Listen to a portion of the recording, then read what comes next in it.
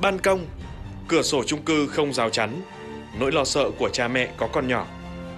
Nguy hiểm rình rập nhưng lại khó khắc phục. Có nên luật hóa việc lắp rào chắn ban công, cửa sổ tại các chung cư để đảm bảo an toàn cho trẻ nhỏ? Hãy cùng tranh luận trong tập ngày hôm nay của Vì Tầm Vóc Việt. Gia đình chị Phương Hạnh, một gia đình trẻ sinh sống tại một căn chung cư mới xây. Mặc dù đã rất cẩn thận lắp rào chắn toàn bộ khu ban công, nhưng phần cửa sổ lớn trong phòng thì vẫn để nguyên trạng như ban đầu. những cái rào chắn sắt thì mình thấy là có vẻ như là ban quản lý cũng ờ, không ờ, hài lòng cho lắm lý do là do mất mỹ quan đấy chưa muốn lắp lắm bởi vì nó cũng ờ, cản trở cái tầm nhìn của mình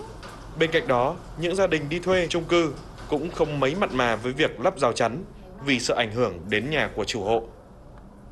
Gia đình mình thì chưa lắp cái lưới an toàn ban công vì là một phần là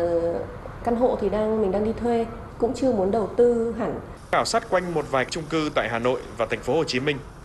việc lắp rào chắn ban công gần như không được quy định và bắt buộc tại các chung cư này. Bởi xung quanh vấn đề này vẫn còn tồn tại một số bất cập. Thì đối với ban lý thì thực sự ra cũng chỉ là khuyến cáo và cái này không phải nằm trong cái quy định bắt buộc cư dân được. Theo quy định về phòng cháy chữa cháy, việc lắp đặt thêm lưới an toàn hoặc các vật che chắn ở ban công sẽ làm ảnh hưởng đến việc cứu hộ cứu nạn khi có sự cố.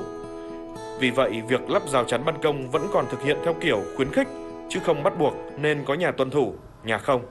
Đa số các gia đình có trẻ nhỏ sẽ chọn việc lắp lưới an toàn thay vì gia cố khung sắt.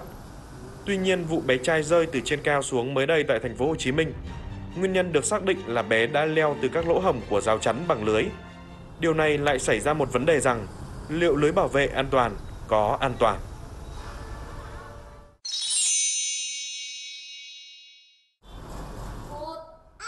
Thực ra cái việc luật hóa việc à, lắp rào chắn cho ban công, tôi nghĩ là là một việc rất khó. Cái đấy nó là lựa chọn của mỗi gia đình. Chưa nói đến cái việc là khi mà nhà nước quy định đưa luật vào luật hóa những cái quy định đấy thì nó sẽ còn ảnh hưởng đến à, kiến trúc các nhà cao tầng hiện nay. là phải quy định là phải mức độ à, xây dựng như thế nào, chắc chắn như thế nào và có rào chắn như thế nào để cho coi như là không có một cái khe hở nào có thể đáng tiếc xảy ra cả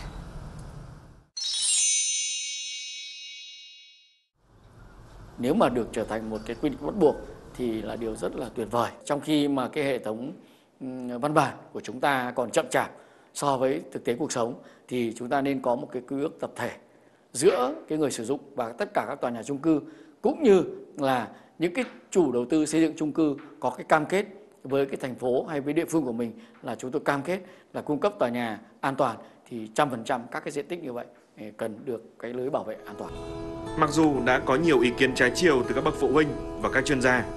nhưng để khắc phục được những mâu thuẫn trong các quy định này thì vẫn không thể xử lý một sớm một chiều. Điều quan trọng nhất vẫn là ở các bậc phụ huynh phải chủ động quan tâm đến sự an toàn của con em mình. con ờ, ở nhà Trong tập tiếp theo, cha mẹ sẽ làm gì để dạy con cách bảo vệ bản thân khi ở chung cư? Con chưa đến tuổi để sử dụng cái cửa này không được thò đầu ra cửa sổ nhớ chưa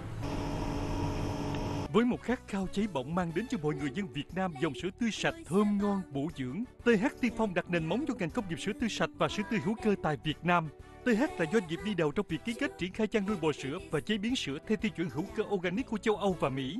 TH là trang trại đầu tiên tại Việt Nam có đàn bò sữa chuyển đổi sang nuôi hữu cơ thêm một quy trình sạch khép kín từ đồng cỏ đến bàn ăn, đạt chứng nhận tiêu chuẩn hữu cơ châu Âu và cúp vàng hữu cơ vì sức khỏe cộng đồng. TH Truview tiên phong phát triển sữa tươi hữu cơ tại Việt Nam. TH tiên phong xây dựng chương trình dinh dưỡng học đường quốc gia